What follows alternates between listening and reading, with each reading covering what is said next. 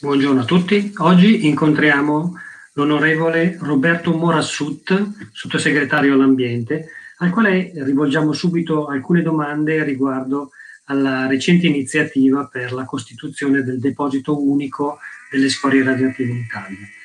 Le chiedo subito, onorevole, questa iniziativa ha aperto una fase di discussione pubblica che tende a coinvolgere la più ampia base civica, corretto? Con la pubblicazione del documento Sogin sulla CNAPI sarà possibile partecipare e discutere sulla localizzazione del sito unico per il deposito delle scorie nucleari.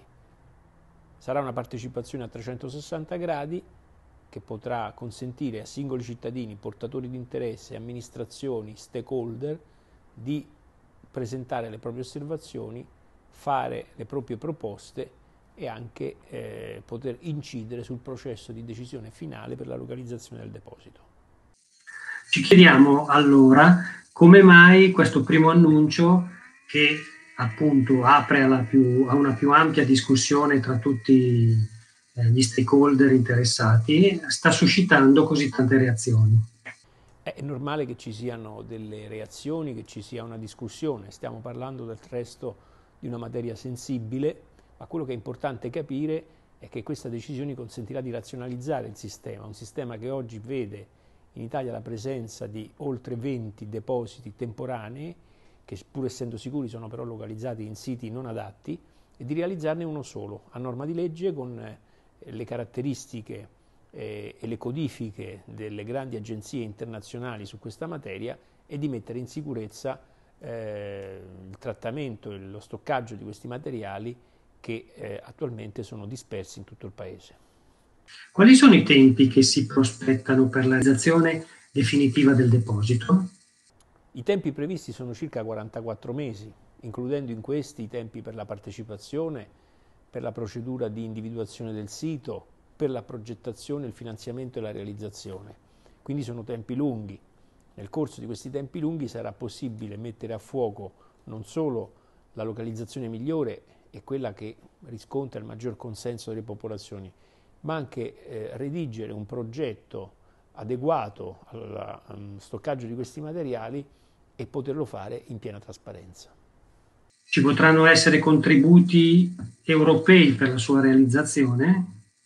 Non sono previsti contributi europei, è previsto però un grande finanziamento nazionale per la realizzazione di questo deposito, che poi non è solo un deposito, ma è un polo tecnologico e di ricerca all'interno del quale è posizionato in una parte minoritaria del complesso il deposito, quindi un grande polo di sviluppo e di ricerca ma sono previsti anche eh, risorse di compensazione economico-finanziaria per i comuni che decideranno di ospitare eh, l'infrastruttura, eh, compensazioni che convoglieranno le risorse che attualmente vengono destinate ai comuni che ospitano i depositi temporanei. Quindi per chi deciderà di autocandidarsi, perché questo è possibile, è previsto nella procedura, sarà possibile avvalersi di queste eh, utilità economiche.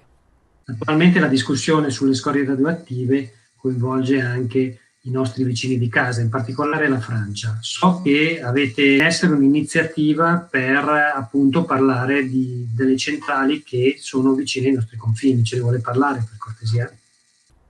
Noi abbiamo chiesto proprio in virtù della necessità di consentire la più ampia partecipazione alla materia alla Francia di poter eh, coinvolgere le popolazioni italiane nella consultazione che riguarda eh, le centrali nucleari con più di 40 anni vicine ai confini italiani, in territorio francese e che eh, la Francia intende, eh, sulla cui attività intende estendere eh, i tempi, di far partecipare, abbiamo chiesto di far partecipare anche le popolazioni italiane, in questo aderendo a ciò che stabilisce la Convenzione di Espoo che prevede una partecipazione transfrontaliera in questi casi, quando una centrale molto vecchia non può essere limitata la partecipazione allo Stato nazionale presso cui la centrale risiede.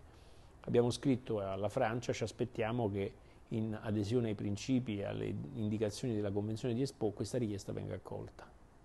Ringraziamo l'onorevole Morassut e vi salutiamo per la prossima occasione. Grazie, arrivederci.